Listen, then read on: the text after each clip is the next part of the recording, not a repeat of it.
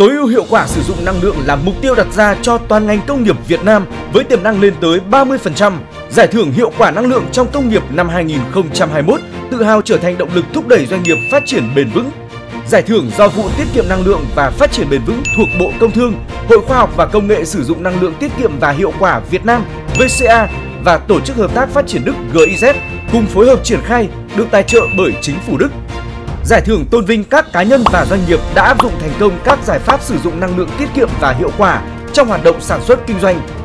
Năm 2017, giải thưởng đã vinh danh 10 doanh nghiệp xuất sắc nhất từ nhiều ngành nghề, lĩnh vực. Các cá nhân và doanh nghiệp đạt giải sẽ được vinh danh trên kênh truyền hình quốc gia và các phương tiện báo chí được nhận chứng nhận của Bộ Công Thương cùng nhiều phần quà hấp dẫn khác. Cơ cấu giải thưởng bao gồm một giải nhất, hai giải nhì cho doanh nghiệp có giải pháp sử dụng năng lượng tiêu biểu, giải đặc biệt cho doanh nghiệp có giải pháp độc đáo và nhiều giải thưởng khác.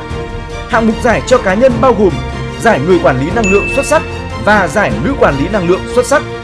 Đối tượng tham gia là các doanh nghiệp có mức tiêu thụ năng lượng từ 500 TOE một năm trở lên, đã thực hiện các giải pháp về sử dụng năng lượng tiết kiệm và hiệu quả và bảo vệ môi trường trong khoảng thời gian từ 2016 đến 2020 và các cá nhân là người quản lý năng lượng hoặc cán bộ kỹ thuật trong các doanh nghiệp đạt chuẩn trên.